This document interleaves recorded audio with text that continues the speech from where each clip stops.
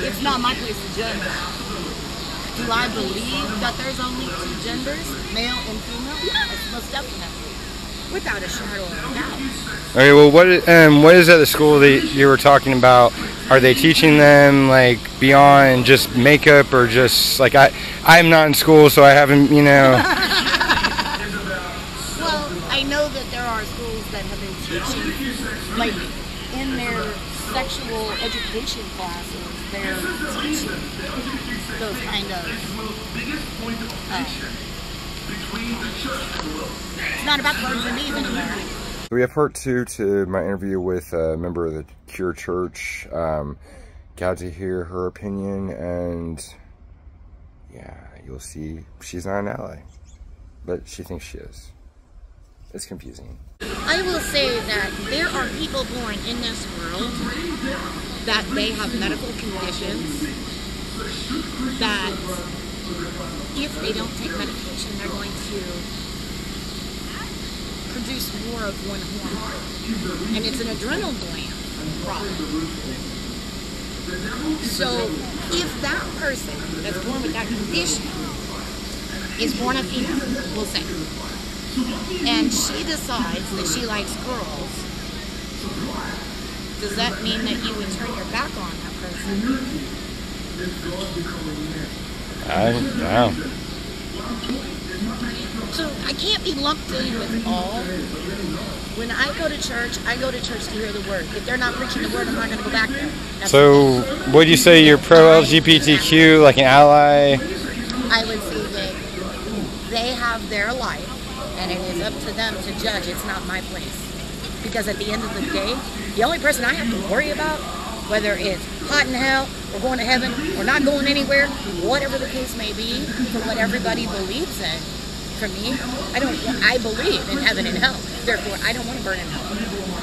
And the Bible clearly says, "Judge not, lest ye be judged." No, thank you. No, So then, just to be clear for the viewers, so you are or are non-ally to non-ally? Okay. I just like to, I like to make sure everything's clear whenever I'm recording. I'm not anything. an ally, but I'm not going to sit and spew a bunch of hate speech, if that makes sense. No, I get it. I said. If you enjoy this video or any others, then subscribe and like so we can get the channel growing. Um, have a good one, guys. At the end of the day, it's not my place to tell someone you're wrong. I've had friends that were gay. I had my next door neighbor was gay. He's one of the best friends I had. He used to come over and pick out my outfits before we we went out.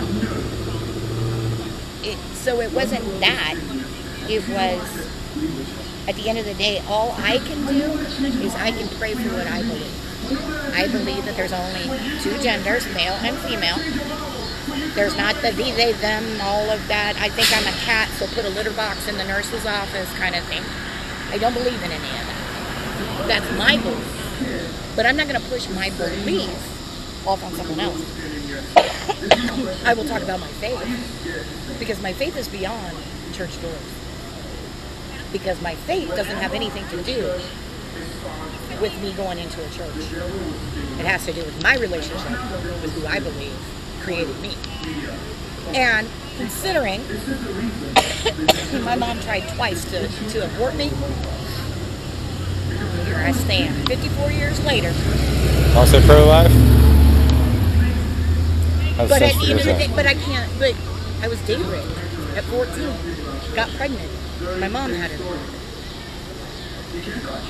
So uh, there's there's a lot, like, you know.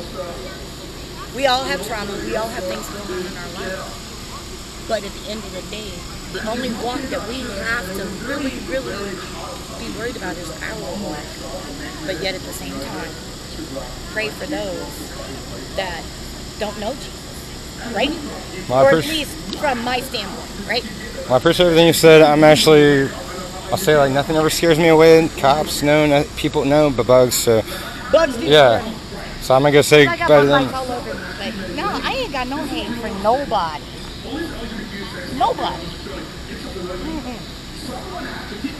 Life's too short. Life is way too short. It's not about religion anyway.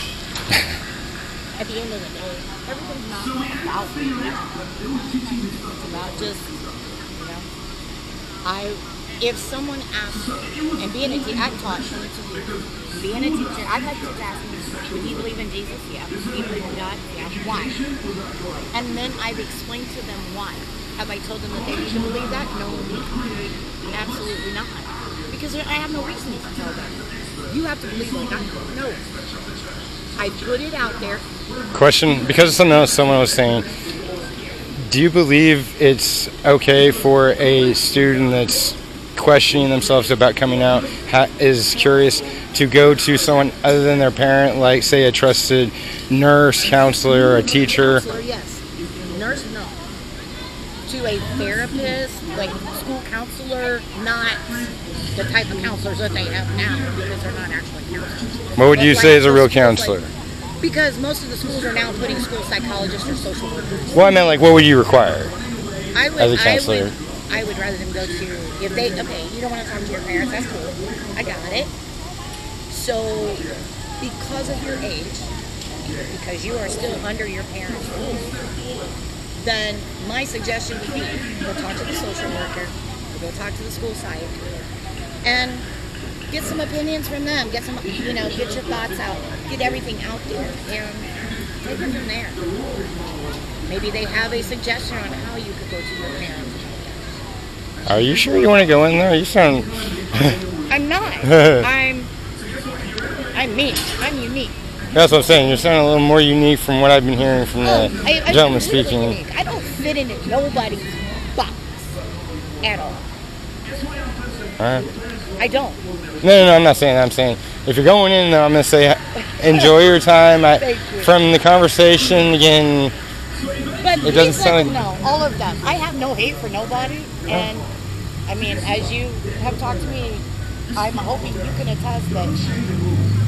That's why I record everything so I no one even asks a question. Just because I'm going to the conference that, you know, because even the Bible says that there will be deception.